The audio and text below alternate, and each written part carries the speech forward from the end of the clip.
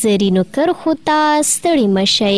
په نن زرینو کرښو کې مو تاسو ته مطلب چمتو کړی چې که غواړئ پښیمانه نه شئ نو دا پنځه شیان له ټولو پټ وساتئ. که څه هم په ژوند کې باید په یو چا باور وکړئ مګر د هغه تر څنګ باید هوښیار واوسئ. نو د دې لپاره چې په ژوند کې له ستونزو سره مخ نه شئ او په خپل شوي باور پښېمانه نه شئ، لاندې پنځه ټکي باید له ټولو پټ وساتئ.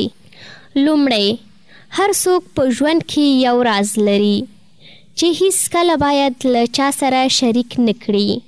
ځکه هغه به په راتلونکي کې ستاسو له دې راز څخه ستاسو په زیان کار واخلي. دوهم، بل چا ته اجازه مه ورکوئ تر څو ستاسو خصوصي ژوند ته ننوځي. د هر انسان خصوصي ژوند د هغه له احساساتو څخه اغیزمن وي یا هم د ژوند خصوصي اړخ چې تاسو هیڅکله نه غواړئ بل څوک وپوهیږي چې هر انسان یو خصوصي ژوند لري. دریم، د خپلو عایدو په اړه چا ته معلومات مه ورکوئ. که غواړئ دوامداره لوړ عاید ولرئ، نو هیڅکله یې چا ته په اړه معلومات مه ورکوئ.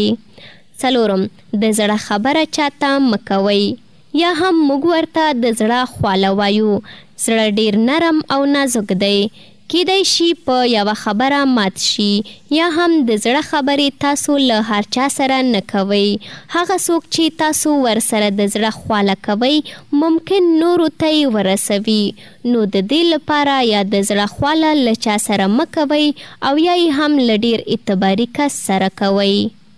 پنځم، هر څوک په راتلونکې کې موخې لري، نو خپلې راتلونکې موخې هیڅکله له نورو سره مه شریکوئ، خپلې موخې له ځان سره وساتئ او د هغه په لورې کوټلي ګامونه واخلئ. د نن زرینې کرښې مو هم دومره وې، تر بیا ښه وختونه الله مو مل شه.